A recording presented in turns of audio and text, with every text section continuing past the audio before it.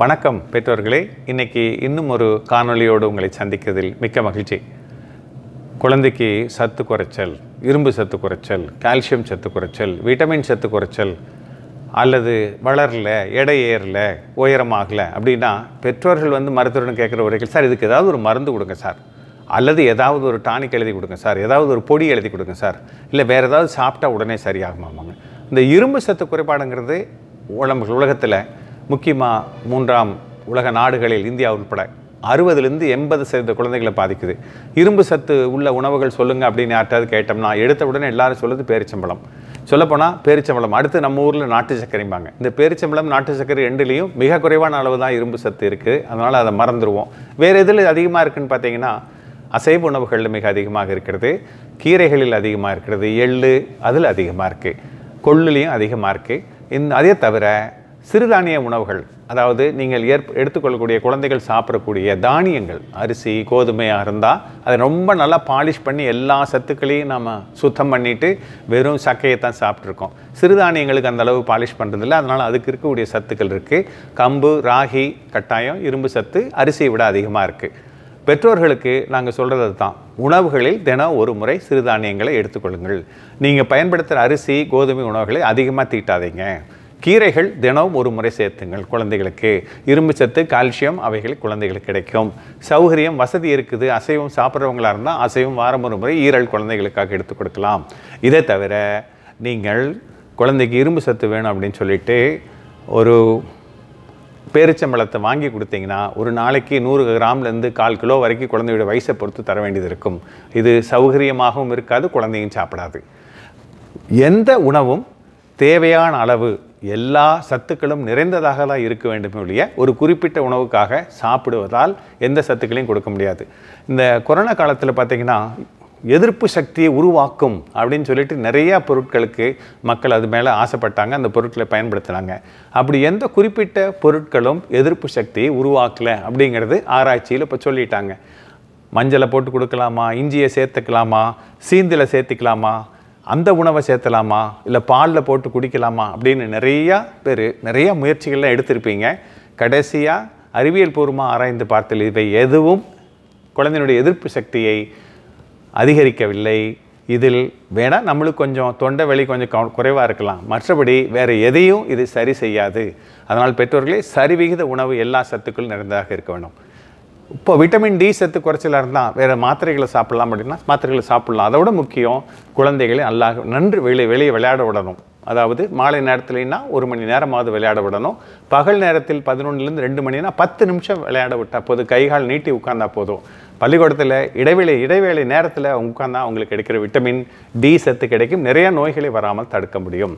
புரத சத்துக்களுக்கு இரும்பு சத்து எந்த அளவு முக்கியமோ அந்த அளவு குழந்தையுடைய வளர்ச்சிக்கு தேவையானது புரத சத்துக்கள். புரத சத்துக்களுக்கு பருப்பு உங்களுக்கு சௌகரியப்பட்டால் எந்த பருப்பு வேணாலும் சேர்த்திக்கலாம். பயிறு வகைகள் எந்த பக்க பயிறு வகையில் வேணாலும் சேர்த்திக்கலாம். சோயா வகைகள் ஒத்து வந்ததுனால சேர்த்துக்கலாம்.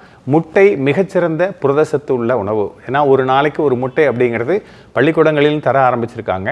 அதே மாதிரி முடிந்தால் பள்ளிக்கூடங்கள் போகாத குழந்தைகளுக்கோ அல்லது மதிய உணவு உட்கார குழந்தைகளுக்கோ நம்ம நம்ம வீட்டில் இதை கொடுக்கலாம். இது கூட உங்களுக்கு சௌகரியப்பட்டால் அசைவ உணவுகளை சேர்த்துக்கொள்ளலாம் புரத சத்து அதில் கிடச்சிரும். இரும்பு சத்து சொல்லிட்டோம். கால்சியம் சத்து கீரைகளை சேர்த்துனா கால்சியம் சத்து போதும். குழந்தைகளுக்கு நல்ல உணவு அப்படிங்கிறது தினம் தினம் நாம் செய்யும் உணவுகளில் சாப்பிடும் உணவுகள் தான் இருக்குது. உணவை ஒரே மாதிரி ஒரே மெனுவில் போட்டு பள்ளிக்கூடத்தில் ஹாஸ்டலில் போடுற மாதிரி போடாமல் கொஞ்சம் மாற்றி செஞ்சீங்கன்னா குழந்தைகளுக்கு உணவை சாப்பிடுவதற்கு ஆசையாக இருக்கும். செய்கிற உணவுகளே இப்போது நிறையா இந்த யூடியூப் காணொளிகள் தளத்தில் போய் பார்த்தீங்கன்னா நிறைய விதமாக ஒரே உணவை செய்கிறத பற்றி நிறைய காணொளிகள் இருக்குது அதைகளை பார்த்து உணவுகளை மாற்றி செய்யலாம். இனிப்புகளை எவ்வளோ குறைக்கிறீங்களோ அவ்வளோ தூரம் நல்லது. இனிப்பை குறைக்கணும் உணவுகளை மாற்றி செய்யணும் ருசியாக செய்யணும். உணவு சாப்பிடும்போது உணவை குழந்தை வந்து அதை பார்த்து அதை ருசித்து சாப்பிட்ற மாதிரி இருக்கணும்.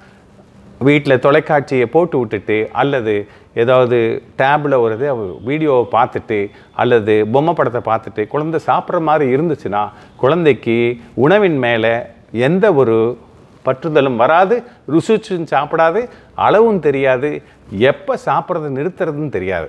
இன்னைக்கு இந்த பொம்மை படத்தை பார்த்துட்டு சாப்பிட்ற குழந்தைகள் நாட்கள் செல்ல செல்ல எப்பப்போ பொம்மை படம் இல்லை மேலே எந்த படங்களை பார்த்தாலும் உணவே சாப்பிட வேண்டும் அப்படிங்கிற ஒரு தொடர்பு ஏற்பட்டு வெகு சீக்கிரத்தில் அவைகள் உடல் பருமன் அதிக உடல் நோயாக பாதிக்கப்படுவாங்க.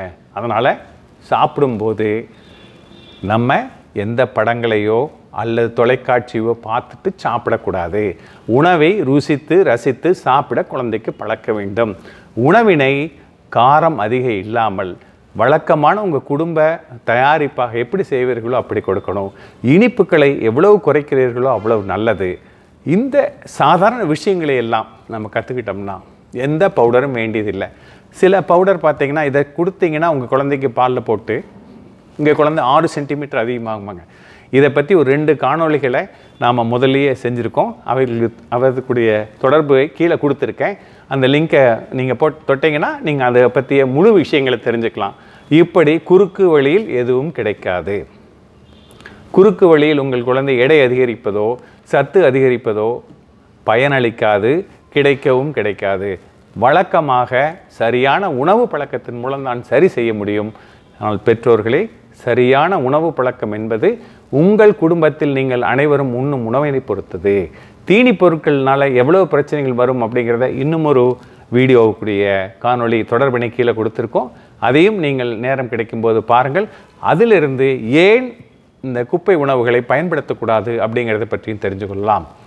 எனவே பெற்றோர்களே நாம் நம் குழந்தைக்கு வீட்டில் தயாரிக்கும் நல்ல உணவுகளை தருவோம்.